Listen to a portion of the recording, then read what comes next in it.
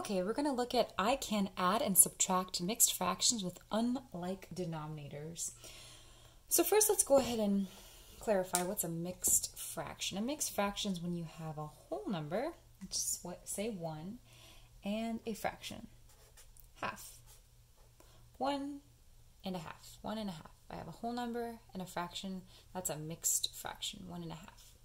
Okay, let's say I wanted to take um, one and a half, so I'll rewrite it as my example A. One and a half. In my operation, I always like to look at operations as the verbs of math. You're telling me what I'm doing. So plus one and two thirds. We'll start with a simple one. Whenever I see two um, mixed fractions or fractions with unlike denominators, that number below the bar, unlike denominators, we have to figure out a common denominator, right, between the two. And I know by my multiples, 2, 4, 6, 3, 6. So 6 is going to be my lowest common denominator, my least common denominator.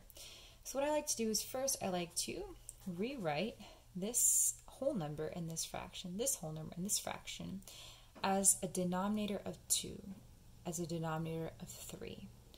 So think about a whole, and if I had a whole to divide into two parts, I have 2 times 1 is 2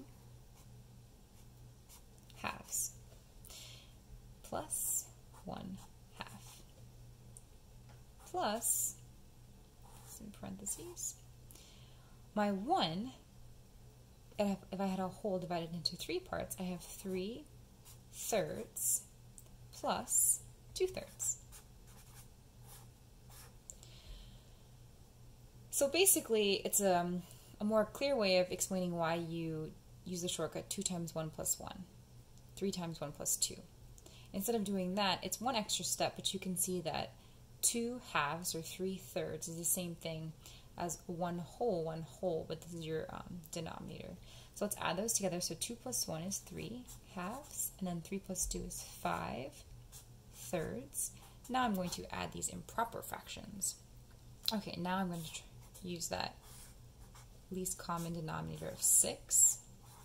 I'm going to find an equivalent fraction for 5 thirds, and I'm find an equivalent fraction for 3 halves. And I like to draw these arrows because I'm saying, okay, I have to multiply by 2, multiply by 3. So 2 times 3 is 6, 3 times 3 is 9, 3 times 2 is 6, 5 times 2 is 10. Now I can add 9 plus 10 is 19, and then denominator stay the same, 19 sixths.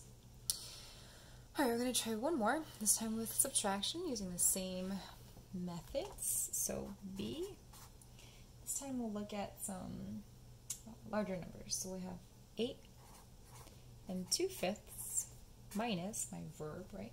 Minus 5 and 2 thirds. Okay, so first things first, I'm going to rewrite these as two separate fractions. Now I have a fraction, a whole number. I'm going to rewrite my whole numbers as fractions. So 5 times 8 is 40, 40 fifths. 8 wholes to the denominator of 5 is just the same thing as saying I have 40 fifths. So 40 fifths plus 2 fifths minus thirds, right? 5 wholes divided into thirds is 15 thirds plus 2 thirds. Add 42 fifths, and I have 17 thirds. I'm running out of room, so a little bit smaller.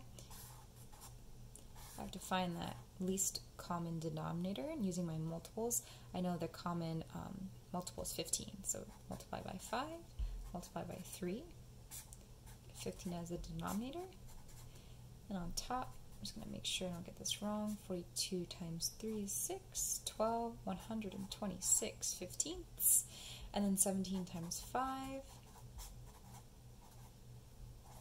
85, 85 fifteenths.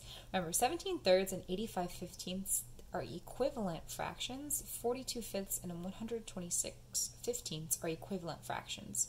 You're basically finding um, equivalent fractions to your original fractions that have the same denominator. That's why the number usually, usually gets higher. So subtract those two, 126 minus 85. I cannot do that in my head.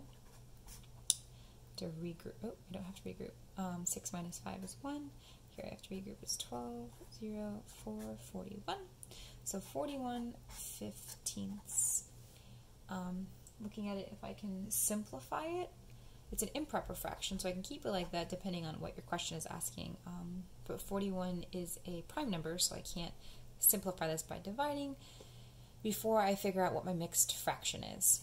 So 15 into 41. How many times can 15 go into 41? I know that it can go in two times with the remainder of 11, and I'm going to keep my denominator the same. So 2 and 11 fifteenths, or as an improper fraction, it's 41 fifteenths. All right, so going back to adding and subtracting fractions with unlike denominators, first let's understand you have a whole number and you have a fraction, that's called a mixed fraction. Whether you add or subtract, you're going to follow the same procedure where you look at your whole numbers and you look at your fraction. Your first step is to change the whole number into a fraction. And that's simply by, you can I like to say you double the denominator, you double the denominator, kind of like Dunkin' Donuts DD. DD. It's the same denominator, but you're saying 3 thirds or 2 halves. Um, rewrite it, add, so you have your improper fractions. Find the least common denominator, add, and then find your, oh, I didn't change this one to a mixed fraction. So 6 into 19 three times with a remainder of 1 over 6. Improper fraction or mixed fraction, same thing for subtraction. Looking the whole numbers first, creating um, improper fractions by splitting the whole number into a fraction, adding them together, finding your two improper fractions, least common denominator, use the verb, which is minus, or your operational symbol, subtraction, come over, find your improper fraction, and then you can also find its equivalent mixed fraction. I know that was a lot. I may put up another video, but there you go.